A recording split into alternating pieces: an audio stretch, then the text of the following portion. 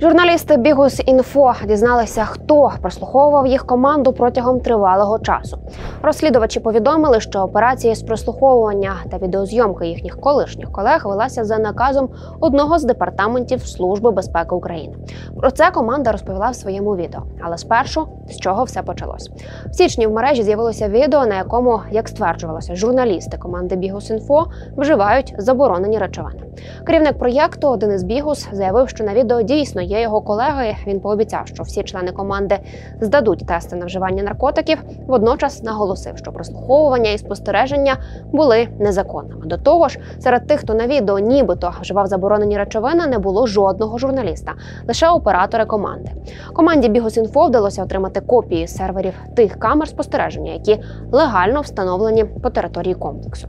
Розслідувачі зробили це до того, як СБУ вилучила записи із серверів. Група працівників заселилася за добу до корпоративу бігусів, аби встановити камери. Засновник проєкту Денис Бігус каже, що камери розставили 30 службовців департаменту захисту національної державності. Бігус заявляє, що в цьому разі нахабно переступили кордони законності, і такі дії СБУ загрожують державності України.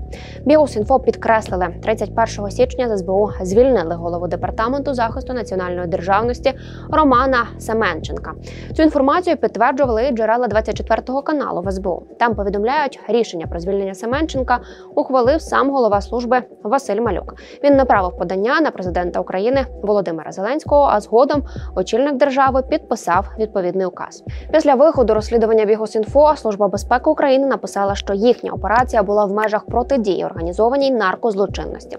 Зокрема, одна з операторок бігусів була клієнткою наркодилерів, і через неї наркотичні речовини постачалися іншим громадянам. СБУ стверджує, що справу стосовно цього вже відкрила за статтею 359 кримінального кодексу України, тобто незаконні придбання, збут або використання спеціальних технічних засобів отримання інформації.